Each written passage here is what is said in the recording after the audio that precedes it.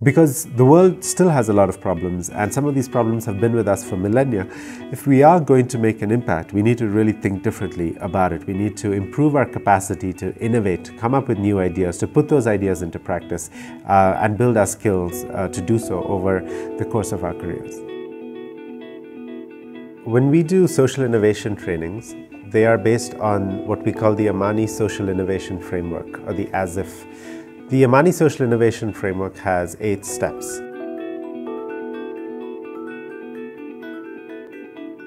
So the first step, we call it burning.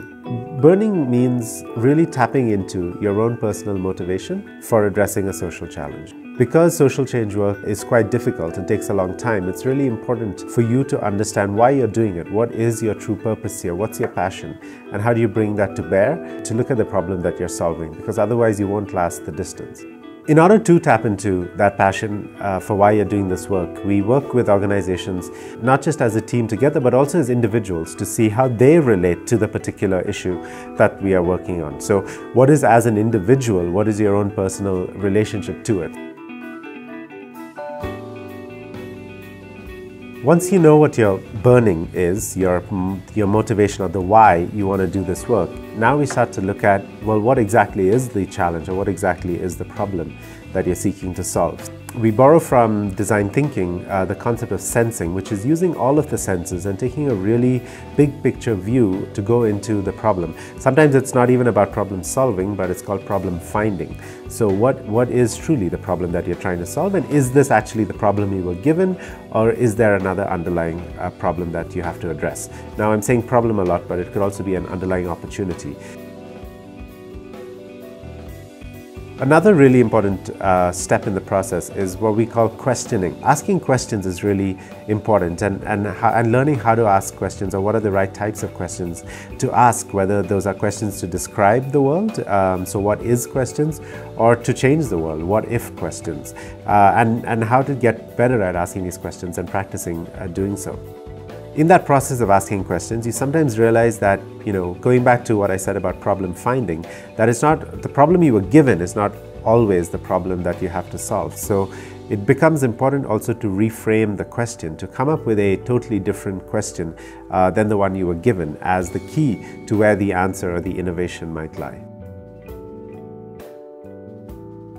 Now that you have a lot of data from sensing and you've gotten some practice asking a lot of different questions and applying those questions onto the data, the next step is what we call associating. And now associating, unlike sensing or questioning, associating is uh, less of an action than more a cognitive skill, something that in your head you're now starting to put together different ideas from different places. So taking things that might be totally different and finding a common theme, a common pattern between them. So now we have a lot of information, we have a lot of data in front of us from the sensing process and the questioning and the associating. Now we start a process of putting it all together.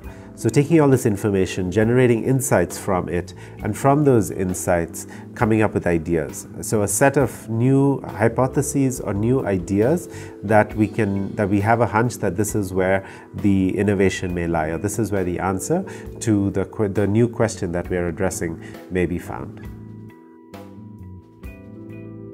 So now you have a, one or maybe more ideas. We start to open up again. So if the last bit was in a phrase of narrowing in, we now start to open up again and, and take these ideas out into the world, talk to different types of people, talk to people that are again experts in what you're doing, but also people who may be slightly unrelated uh, to it, but may have a perspective or a point of view on what you're doing. We call this process idea networking. Uh, so it's networking not for uh, resources like funding or jobs, but actually to see if we put the idea in the center, how do different people react to that? And how do different people bring their work and their opinions to bear onto your idea? And in that process new insights come out for you in terms of um, refining the idea further and seeing how it may apply in the real world The next step is what we call experimenting, but experimenting goes also by other names, for example, prototyping. So what this means is to build now a model for the idea that you have. What could that idea look like in real life? Do you build a physical model of it? Or do you uh, do a storyboard that maps out the journey of somebody who is experiencing your product or your service? How do you bring that out into the world? What, what, how does the world react to it? What feedback can you get?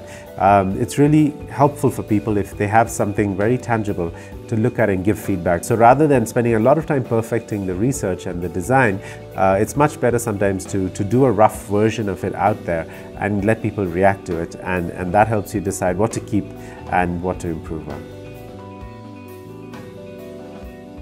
The next step is what we call impacting, which is now since we're talking about social impact, it's really important that your product or your idea not just be something that the world uh, takes up, but also something that makes it a better world, that, that leads to a social impact. So you need to think carefully about how will this idea impact the, the user or the customer or the beneficiary uh, in, in one year from now or in five years from now.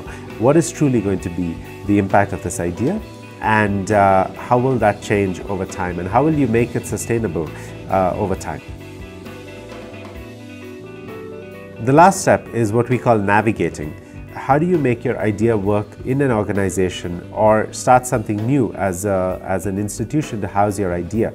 Just having an idea isn't enough. Oftentimes, you've got to make that idea work within an institution and you've got to navigate the, the way the institution works, its strategic priorities, its funding realities, its history and culture in order to make your idea find a home within an institution and be able to be adopted by that institution.